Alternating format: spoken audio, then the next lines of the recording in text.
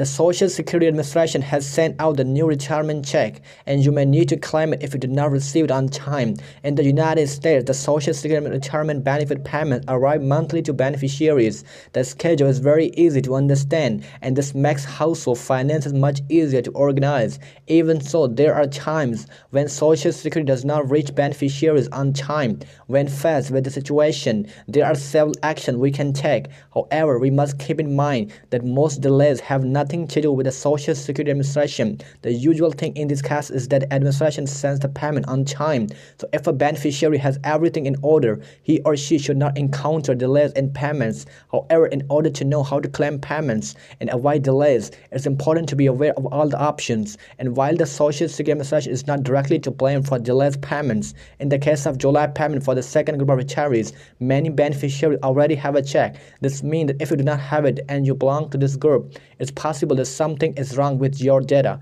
How do I claim Social Security for July 12, 2023? There are two main ways to claim the payment in case if we do not receive it on time. Contacting the bank, claiming the Social Security payment. If the bank does not solve the problem, then we should contact the Social Security Administration. It is not usual for the SSA to send payments late, but sometimes it can happen.